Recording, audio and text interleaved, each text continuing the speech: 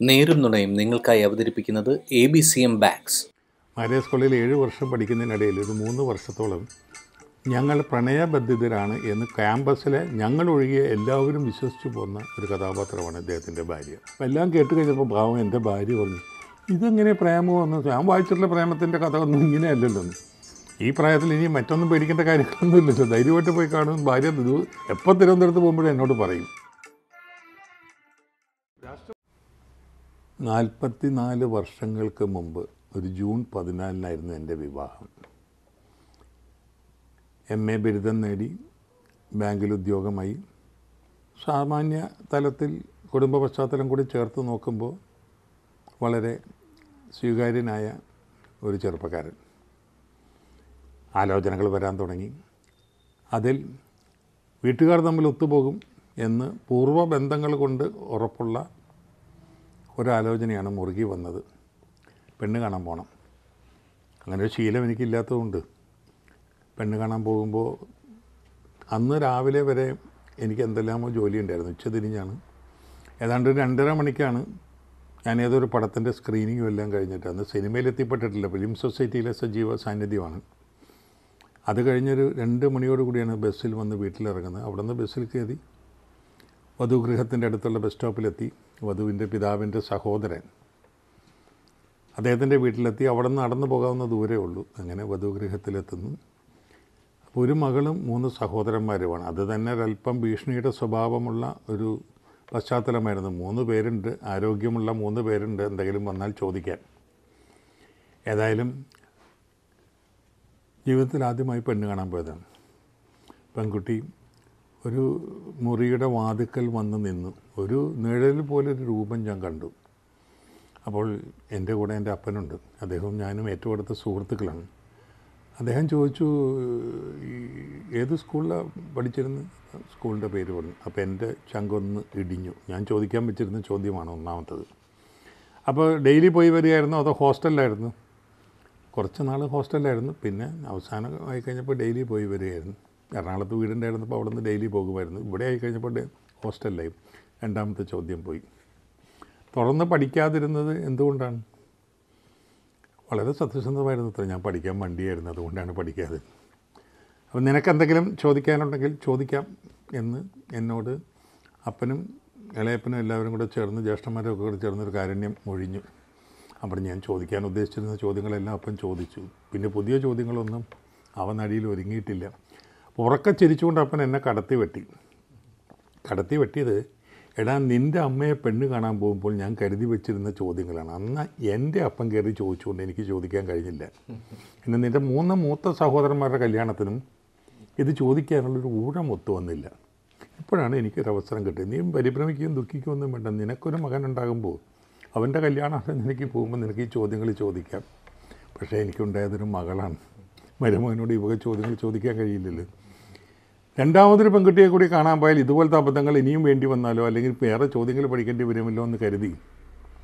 ഞാൻ അങ്ങനെ ഒരു സാഹസത്തിന് മുതിർന്നില്ല. അതെല്ലാം കൊണ്ട് കണക്കുന്നുവെങ്കിൽ നമുക്ക് മുന്നോട്ട് പോകാം എന്ന ഉത്തരമാണ് പറഞ്ഞത്. പക്ഷേ ഇതിനിടയിലും ഞാൻ ഓർത്തു വെച്ച ഒരു ചിരിയുണ്ട്. അപ്പനും മകനും തമ്മിൽ ഇങ്ങനെ നർമ്മോക്തികൾ പറഞ്ഞ് ഞങ്ങളവിടെ ഒരു ചിരിയുടെ അല ഉയർ ഉണർത്തിയപ്പോൾ ആ കൂട്ടത്തിൽ ചേർന്ന് താൻ വരന്റെ മുമ്പിൽ നിൽക്കുന്ന വൃഗളാവിവശിയായ വധുവാണ് എന്നതും മറന്ന് എന്റെ ഭാര്യ.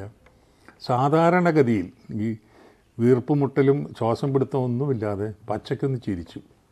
അപ്പോൾ എനിക്ക് തോന്നി കുഴപ്പമില്ല മനുഷ്യരുടെ കൂട്ടത്തിൽ പെടുത്താവുന്ന ഒരാളാണെന്ന് തോന്നി. അങ്ങനെയാണ് ഞങ്ങളുടെ വിവാഹം നടക്കുന്നത്. ഈ വിവാഹത്തിന് ആരൊക്കെയാണ് ഈ ഹെയർ സ്റ്റൈൽ ഇങ്ങനെയൊക്കെ ഉണ്ടാക്കി വെക്കണമെന്നുള്ളത് പഠിപ്പിച്ചതെന്ന് എനിക്കറിഞ്ഞു ആരായിരുന്നാലും അയാൾ മനുഷ്യകുലത്തിന്റെ ശത്രുവാണ്. രണ്ട് മണിക്കായിരുന്നു വിവാഹം. രാവിലെ ഇദ്ദേഹത്തെ കൊണ്ടുവന്ന് ഏതോ ബ്യൂട്ടീഷ്യന്റെ അടുത്ത് അത് അവർ താമസിക്കുന്ന കോട്ടയത്ത് പാറയിൽ നിന്ന് ഏതാണ്ട് രണ്ട് മണിക്കൂറൊക്കെ സഞ്ചരിച്ചാലേ വളരെ ഫാഷനബിൾ ബ്യൂട്ടീഷ്യന്റെ അടുത്ത് എത്തുള്ളൂ. അവിടെ പോയി അത് കഴിഞ്ഞതിന് ശേഷം അദ്ദേഹത്തിന്റെ ഭക്ഷണം മുഴുവൻ ഈ സ്ട്രോയിലൂടെ അകത്തേക്ക് ഇടാവുന്ന രീതിയിലാണ്. കാരണം മുഖത്തിന്റെ ഫേഷ്യലൊന്നും പോകരുതല്ലോ. രണ്ട് മണിക്ക് വന്ന് വിവാഹം അത് കഴിയുമ്പോൾ ഞങ്ങളുടെ വിവാഹം കുറച്ച് ദീർഘമായ കർമ്മങ്ങളാണ്. അത് കഴിഞ്ഞ് മൂന്നര നാല് മണി മുതൽ റിസപ്ഷൻ റിസപ്ഷൻ എല്ലാം കഴിഞ്ഞ് എന്റെ വീട്ടിലാണ് അന്ന്. എല്ലാം കഴിഞ്ഞ് എല്ലാവരും പിരിയുമ്പോൾ എട്ട് മണി എട്ടര മണി. അത് കഴിഞ്ഞ് ഏറെ വൈകാതെ അടുത്ത ബന്ധുക്കൾക്കിടയിലുള്ള കുറേ കുശലം പറച്ചിലും എല്ലാം കഴിഞ്ഞ് ഒന്ന് മേൽ കഴുകാനുള്ള കഷ്ടി സാവകാശമുള്ളപ്പോഴേക്കും പ്രാർത്ഥനാ സമയവുമായി അത്താഴമായി. അത് കഴിഞ്ഞ്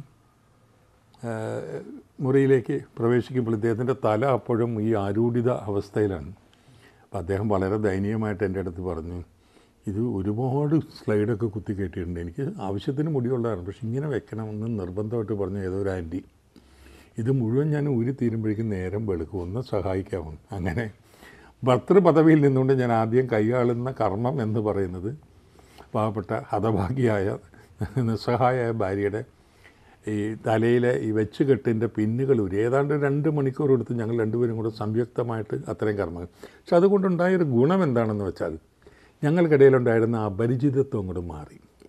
ആദ്യത്തെ ചിരിയിൽ തന്നെ ഏകദേശം പരിചിതത്വത്തിന്റെ പ്രാന്തത്തിലേക്ക് കടന്നു വന്നിരുന്നു. ഇതിനിടയിൽ കൊച്ചു തമാശകൾ പറയും അപ്പോൾ സങ്കോചം വിട്ട് എന്നോടും സംസാരിക്കാവുന്ന ഒരു അവസ്ഥയിലേക്ക് അദ്ദേഹം എത്തുകയും ചെയ്തു. വലിയ അപകടങ്ങളൊന്നുമില്ലാതെ ആദ്യ രാത്രി കടന്നുപോയി. പിറ്റേന്നാണ് അദ്ദേഹത്തിന്റെ വീട്ടിലേക്ക് പോകുന്നത്. അദ്ദേഹത്തിന്റെ വീട്ടിലേക്ക് ചെല്ലുമ്പോൾ ഞാൻ വല്ലാതെ അസ്വസ്ഥനായിരുന്നു. കാരണം രണ്ട് ദിവസം അവിടെ നിൽക്കണം. പിന്നെ ബുധനാഴ്ച തിരിച്ചു വരുള്ളൂ. അപ്പോൾ ഈ രണ്ട് ദിവസം മൂന്ന് സഹോദരന്മാരും അപരിചിതരായ കുറേ ബന്ധുക്കളുടെ നടുക്ക് എനിക്ക് ആകെ പരിചയം ഈ പെൺകുട്ടിയെ മാത്രമാണ്. അവിടെ ചെന്നു. ഉച്ച കഴിഞ്ഞ് ഊണ് കഴിഞ്ഞ് അല്പം വിശ്രമിച്ചു. അപ്പോൾ ഞാൻ നോക്കുമ്പോൾ എന്റെ അമ്മായച്ചൻ വളരെ പ്രസിദ്ധനായ ഒരു അഭിഭാഷകനായിരുന്നുവെങ്കിലും വളരെ ശുദ്ധാത്മാവായിരുന്നു. അദ്ദേഹം ഞാനൊരു എഴുത്തുകാരനാണെന്ന് അറിയാവുന്നതുകൊണ്ട് എപ്പോഴെങ്കിലും എനിക്ക് എഴുതാനുള്ള ഒരു തിക്കുമുട്ടുണ്ടായാലോ എന്ന് കരുതി കുറേ കടലാസ് ഒരു പേനയൊക്കെ അവിടുത്തെ ഒരു പേൻ മേശപ്പുറത്ത് വെച്ചിട്ടുണ്ട്. ജഗ് വെള്ളവും വെച്ചിട്ടുണ്ട്. ഒരു മൂന്നര നാല് മണിക്ക് കാപ്പ് കുടിച്ചുകൊണ്ട് ഞാൻ മുൻവശത്ത് മുറിയിൽ വന്നിരുന്നപ്പോൾ അളിയന്മാരിൽ ആരോ ചോദിച്ചു ഏത് നീചനാണെന്ന് ഞാൻ ഓർക്കുന്നില്ല. എങ്ങനെ ഷട്ടിലോ ബാറ്റോ ഒക്കെ കളിക്കാറുണ്ടോ? ഞാൻ പറഞ്ഞു വല്ലപ്പോഴും ഒക്കെ. കാരണം ഒരു ഭംഗിവാക്ക് പറഞ്ഞു ബാറ്റിന്റെ ഏത് വശമാണ് പിടിക്കേണ്ടതെന്ന് പോലും എനിക്ക് അറിഞ്ഞുകൂടാ. പിന്നെ ഞാൻ കാണുന്ന മഹാനീച പ്രവൃത്തി എന്ന് പറയുന്നത് അവരെവിടെ നിന്നൊക്കെ പൊടി തട്ടി അതിന്റെ നെറ്റ് കൊണ്ടുവരുന്നു. ആ വീടിന്റെ മുറ്റത്ത് കളിക്കാൻ പാകത്തിന് വരുന്ന നാല് ബാറ്റ് എടുത്ത് വെക്കുന്നു. ഈ നാലാമത്തെ ബാറ്റിനെ ഞാൻ ശത്രുവിനെ നോക്കുന്ന പോലെ നോക്കിയായിരുന്നു. ഞാൻ പറഞ്ഞു ഞാൻ മേലും നൊമ്പരും ഒക്കെ ആയിട്ടിരിക്കുകയാണ്. അതുകൊണ്ട് ഇന്ന് ഞാൻ കളിക്കുന്നില്ല. വേണ്ട ഇന്ന് ഞങ്ങൾ കളിക്കാം. അങ്ങനെ അമ്മായച്ഛനും മൂന്ന് അമ്മക്കളും കൂടെ ഭയങ്കര കളി. ആ കൂട്ടത്തിലാണ് എന്നെ കൊണ്ടുവന്ന് ബലിയാടാക്കാൻ വെച്ചിരുന്നത്. അന്ന് വൈകിട്ട് ഞാൻ ഭാര്യയോട് പറഞ്ഞു താൻ ആവശ്യപ്പെടുന്ന എന്ത് കാര്യങ്ങളുടെയും ഫിഫ്റ്റി പെർസെന്റ് ഞാൻ കണ്ണടച്ച് സമ്മതിച്ചോളാം. ഈ പാതകത്തിൽ നിന്ന് എന്നെ ഒന്ന് രക്ഷപ്പെടുത്താം അങ്ങനെയാണ് അന്ധമായി അദ്ദേഹത്തിന്റെ പല നിബന്ധനകളുടെയും മുമ്പിൽ എനിക്ക് തലകുനിക്കേണ്ടി വന്നത്. അങ്ങനെ ജീവിതത്തിൽ നമ്മൾ കടന്നു വന്നു കഴിയുമ്പോൾ ഒരുപാട് ഒരുപാട് കൊച്ചു കൊച്ചു നിമിഷങ്ങളിലൂടെ കടന്നു പോകും. കാൽപ്പനികമായി പലരും വരച്ചു വെച്ചതും ഞാൻ അടക്കമുള്ളവർ എഴുതി വെച്ചിട്ടുള്ളതൊന്നും അല്ല യഥാർത്ഥ ജീവിതം എന്ന് പറയുന്നത്. യഥാർത്ഥ ജീവിതത്തിലെ അത്തരത്തിലുള്ള കൊച്ചു കൊച്ചു നിമിഷങ്ങളാണ് നമ്മളെ പിന്തിരിഞ്ഞു നിന്ന് ഓർക്കുമ്പോൾ നമുക്ക് വളരെ ഹൃദയാഹ്ലാദം തരുന്ന ജീവിതത്തിലെ സ്പന്ദിക്കുന്ന ഓർമ്മകൾ എന്ന് ഞാൻ കരുതുന്നു. ഈ ആദ്യ രാവിലേക്ക് കിടക്കുന്നതിന് മുമ്പ് വീട്ടിലൊരു വലിയ അതിഥി സൽക്കാരമുണ്ട് റിസപ്ഷൻ. അപ്പോൾ പലരും വരും. ഇത്തരം റിസപ്ഷനിലൊക്കെ ചെന്ന് പെടുമ്പോഴും അല്ലാതെ വേറെ എവിടെയെങ്കിലും നമ്മളൊരു വിരുന്നുകാരനായിട്ട് ചെല്ലുമ്പോഴും ഉണ്ടാകുന്ന അല്പം അറിയപ്പെടാനും കൂടെ തുടങ്ങിയിട്ടുണ്ടെങ്കിൽ ഉണ്ടാകും നിർബന്ധമായിട്ടുണ്ടാകുന്നൊരു വലിയ ധർമ്മസങ്കടമുണ്ട്. ചിലർ വന്നിട്ട് നമ്മളോട് ചോദിക്കും മനസ്സിലായോ? നമ്മൾ മനസ്സിലായില്ല എന്ന് പറഞ്ഞാൽ അദ്ദേഹത്തിന് അതൊരു വിഷമമാവുമല്ലോ എന്ന് കരുതി. പിന്നെ അപ്പോൾ ചോദിക്കും ആരാ? ഒന്ന് പറഞ്ഞേ. നമ്മൾ കിടന്ന് നട്ടം തിരിയല്ലാതെ അപ്പം നമ്മളൊരു സ്വത സിദ്ധമായ ചമ്മൽ ഒന്ന് കൂട്ടി ഇണക്കി വെച്ചുകൊണ്ട് പറയും കൃത്യമായി മുഖം എന്റെ മനസ്സിലുണ്ട്. ഞാവിന്റെ തുമ്പത്തുണ്ട്. പിന്നെ ഇന്നത്തെ ഒരു ദിവസത്തിന്റെ ഒരു പ്രത്യേകതയിൽ കൃത്യമായിട്ട് എനിക്ക് ഓർത്തെടുക്കാൻ കഴിയുന്നില്ല. ഇത് പലപ്പോഴും ആവർത്തിക്കേണ്ടി വന്നിട്ടുള്ള ഒരു നാടകമാണ് ജീവിതത്തിൽ. വിവാഹ സൽക്കാര വേളയിലാണ് ഇത് ഏറ്റവും കൂടുതൽ സുമുഖസുന്ദരനും അരോഗതയുടെ യുവാവ് എന്റെ അടുത്ത് വന്നിട്ട് വന്ന് പറഞ്ഞു. ആശംസകളൊക്കെ അർപ്പിച്ചതിന് ശേഷം അദ്ദേഹം വന്നിട്ട് പറഞ്ഞു എന്നെ മനസ്സിലായോ? ഞാൻ പറഞ്ഞു പിന്നെ അതെങ്ങനെയാണ് ആരാ പറഞ്ഞേ? അപ്പം ഞാൻ പറഞ്ഞു ഇങ്ങനെ ഫേസ് ഈസ് ക്വയറ്റ് ഫാമിലി കള്ളം പറയണ്ട നമ്മൾ തമ്മിൽ ആദ്യം കാണും. അപ്പം ഞാൻ ആകെ നിലംപരിച്ചായി ഞാൻ പറഞ്ഞു പെട്ടെന്ന് ഇങ്ങനെ പലരും വന്ന് പറയുമ്പോൾ അറിയില്ല എന്ന് പറഞ്ഞാൽ അതെ അറിയില്ല എന്ന് പറഞ്ഞാൽ ബുദ്ധിമുട്ടാകും. പക്ഷേ എനിക്ക് ബുദ്ധിമുട്ടാവില്ല കാരണം ഞാനും ആദ്യമായിട്ടാണല്ലോ കാണുന്നത്. ഞാൻ ഇന്നയാളുടെ ഭർത്താവാണ്. ഭാര്യ കേട്ടോ എന്നാണ് ആദ്യം നോക്കിയത്. അദ്ദേഹം നിഷ്കളങ്കമായി അദ്ദേഹത്തിന്റെ പരിചയക്കാരോ വന്നവരോട് വർത്തമാനം പറഞ്ഞുകൊണ്ടിരിക്കും. അപ്പോൾ ഞാൻ പറഞ്ഞു എന്ത് പറ്റി? ഭവതി വന്നില്ലേ? എന്ന് ചോദിച്ചു. ഇല്ല കുഞ്ഞുങ്ങൾക്ക് മൂന്ന് പേർക്ക് മഞ്ഞപ്പിത്തമാണ്. ഞാൻ കാസർഗോഡ് നിന്നാണ് വരുന്നത്. അദ്ദേഹത്തിന് വരണമെന്നും പങ്കെടുക്കണമെന്നും വളരെ നിർബന്ധമുണ്ടായിരുന്നു. പക്ഷേ വരാൻ പറ്റ കുഞ്ഞുങ്ങളെ ഇട്ടിട്ട് വരാൻ പറ്റാത്ത കാരണം ഞാൻ ഇന്ന് അവിടെ നിന്ന് വന്നു. ഇവിടെ അറ്റൻഡ് ചെയ്തു. വൈകിട്ടത്തെ ട്രെയിനിന് തന്നെ തിരിച്ചു പോവുകയാണ്. ഞങ്ങൾ ഒരുമിച്ച് പിന്നീട് വരാം. അങ്ങനെ വളരെ സന്തോഷത്തോടെ അദ്ദേഹം യാത്ര ചെയ്യും പോകുന്ന വഴിക്ക് അദ്ദേഹം പെട്ടെന്ന് ഒരാളെ കണ്ട് നിൽക്കുന്നു. അതെന്റെ ഭാര്യയുടെ മൂത്ത സഹോദരൻ. അവരൊരുമിച്ച് കോളേജിൽ പഠിച്ചവരാണ്. അപ്പോൾ എന്റെ മനസ്സിൽ വീണ്ടും വെള്ളടി വിട്ടുകയാണ്. അങ്ങനെ കുറ്റബോധമോ ജാള്യതയോ എനിക്ക് തോന്നേണ്ട കാര്യമില്ല. മാരേജ് സ്കൂളിൽ ഏഴ് വർഷം പഠിക്കുന്നതിനിടയിൽ ഒരു മൂന്ന് വർഷത്തോളം ഞങ്ങൾ പ്രണയബന്ധിതരാണ് എന്ന് ക്യാമ്പസിലെ ഞങ്ങളൊഴികെ എല്ലാവരും വിശ്വസിച്ചു പോകുന്ന ഒരു കഥാപാത്രമാണ് ഇദ്ദേഹത്തിന്റെ ഭാര്യ. ഞങ്ങൾക്കറിയില്ലായിരുന്നു ഞങ്ങൾ തമ്മിൽ പ്രേമമാണെന്നുള്ളത്. കോളേജിലെ ഒരുപാട് പേര് ശ്രദ്ധിക്കുന്ന ഒരു എന്താ പറയുക ചീനിമുളക് എന്നൊക്കെ ഉറൂബിന്റെ ഭാഷയിൽ പറയാവുന്ന വിധത്തിലുള്ള പടച്ചു നടക്കുന്ന ഏതാൾക്കൂട്ടത്തിനിടയിലും ശ്രദ്ധ തേടുന്നൊരു കഥാപാത്രം. ഒരുപാട് പേർ അവരുടെ ഒരു എന്താണ് പറയുക പ്രണയ കടാക്ഷത്തിന് വേണ്ടി കാത്തു നിൽക്കുമ്പോൾ ആൾക്കൂട്ടത്തിൽ ഒന്നിലും എഴുന്നു നിൽക്കാതെ വളരെ സർവസാധാരണക്കാരനായ ഒരു കെളുന്ത് പയ്യനോട് അവർ ആഭിമുഖ്യം കാണിക്കുന്നു. ഞങ്ങൾ തമ്മിൽ വലിയ സൗഹൃദം ഉണ്ടാകും സത്യത്തിൽ എനിക്ക് ഒരുപാട് എംബറാസ്മെന്റ്സ് സൃഷ്ടിച്ചിട്ടുള്ള സൗഹൃദമാണത്. വെല്ലും ബ്രേക്കും ഇല്ലാത്തൊരു പെൺകുട്ടിയാണ്. അത് ചിലപ്പോൾ നേരെ വന്നിട്ട് നമ്മളിരിക്കുന്ന ഡെസ്കിന്റെ മുകളിൽ കയറി നിന്നിട്ട് ഞാൻ മീൻ കറി കുട്ടിയിട്ടാ. കൈ കഴുകിയിട്ട് സോപ്പിന്റെ മണം മീന്റെ ഉളുമ്പ് മണം പോയിട്ടില്ലെന്ന് അവളുമാരൊക്കെ പറഞ്ഞു. ഒന്ന് മണത്ത് നോക്കിയെന്നൊക്കെ പറഞ്ഞു. നമ്മൾ ക്ലാസ്സിലിരുന്ന് ഒന്ന് ആയിരത്തി തൊള്ളായിരത്തി അറുപത്തി അഞ്ചിലെ കഥയാണ് ഞാൻ പറയുന്നത്.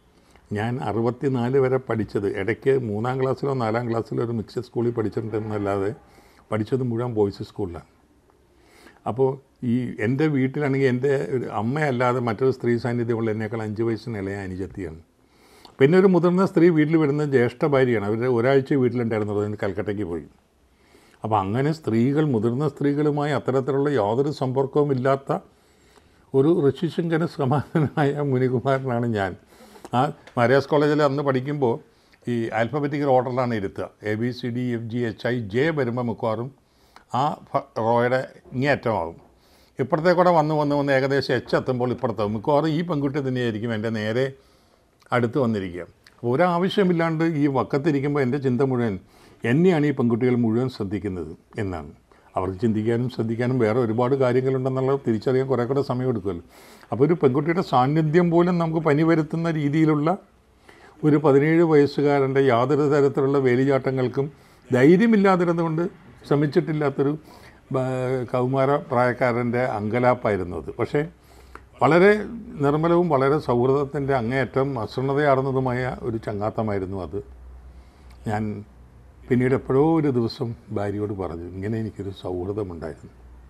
അപ്പം മൊത്തം ഞാൻ വിസ്തരിച്ച് പറഞ്ഞു അതിന്റെ ഉപകട സന്ദർഭങ്ങളിലേക്ക് ഞാൻ പോകുന്നില്ല ദൈർഘ്യം പേടിച്ച്. അപ്പം എല്ലാം കേട്ട് കഴിഞ്ഞപ്പോൾ ഭാവം എന്റെ ഭാര്യ പറഞ്ഞു ഇതെങ്ങനെ പ്രേമോ എന്ന് ഞാൻ വായിച്ചിട്ടുള്ള പ്രേമത്തിന്റെ കഥ ഒന്നും ഇങ്ങനെയല്ലല്ലോ അപ്പോൾ എനിക്ക് മനസ്സിലായി കുഴപ്പമില്ലാത്തൊരു ബന്ധമാണ്.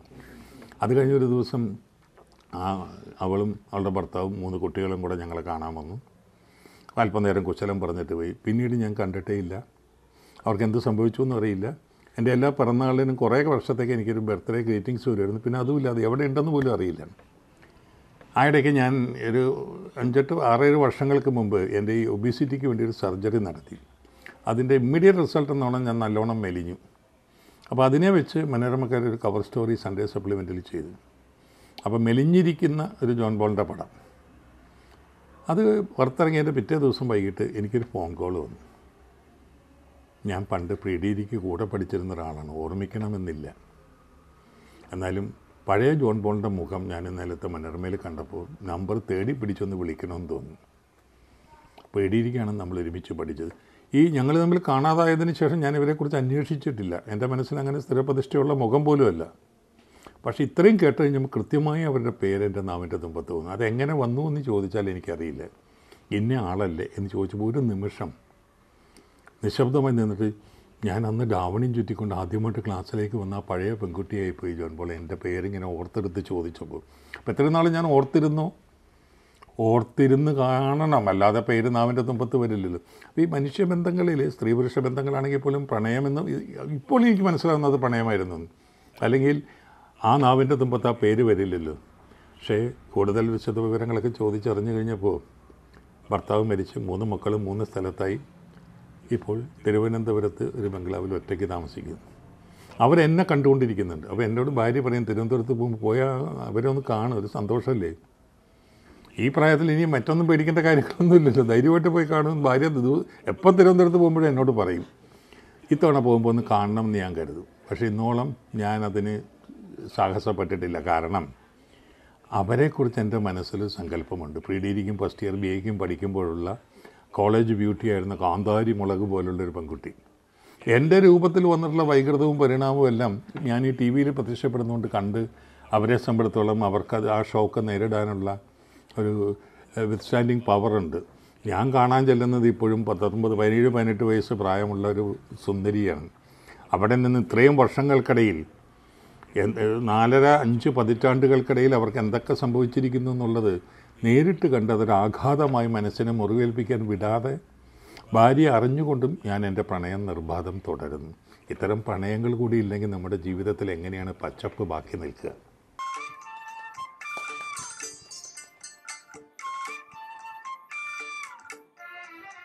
നേരും നുണയും നിങ്ങൾക്കായി അവതരിപ്പിക്കുന്നത് A B C M bags